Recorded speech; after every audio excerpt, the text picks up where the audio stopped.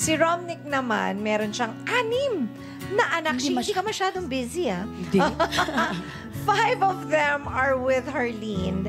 And yung kanyang bunso with Barbara. Ayan, ang kanyang current partner. Paano naman ang ano, ganitong setup, Romnick? Masakit sa katawan. Anim na anak ko yan. Stretching mo yung anim eh, di ba? Anim eh, Nakikipaglaro ka sa anim. No, no, this is, this is, uh, like what Kian said, kids are such a blessing. You know, Yes. they've always been a blessing. From the very first to the one that will be the very last. Because I don't know. Uh, we'd like to have more kids. Honestly, di ba? Uh, Barbara and I would like to have more kids. Um, and ang maganda naman dun sa dynamic nila magkakapatid is that they're all very close. They like being together. Uh, the other five kids keep asking about the little boy. Tapos when they can, they, they drop in to see him. You know?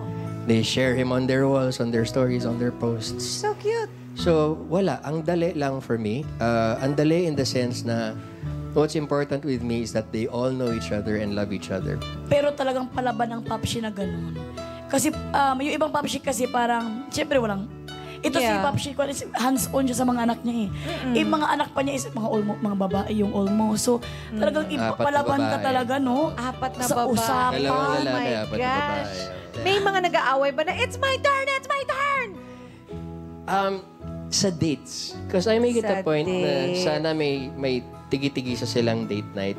Ganyan. Uh, so, Sweet naman nun. minsan, sasabihin ng isa, wait, why did she go ahead of me? I'm supposed to be next. Ay, alam na nila ang routine. Oo. ang Eh, mga eh, tanong minsan, may request yung isa, kaya niya kailangan mag-date ngayon kasi meron siyang kailangan bilhin dahil kailangan niya bukas. So, palit muna kayo. Di ba? Papaliwanag mo. And then, you know, they, they understand. They argue a little bit because it's impossible for women not to argue. No offense. Pero di ba?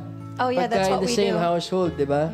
Hindi pwedeng hindi sila magtalo-talo. Pero they always come together on certain things and the important things. Ayan.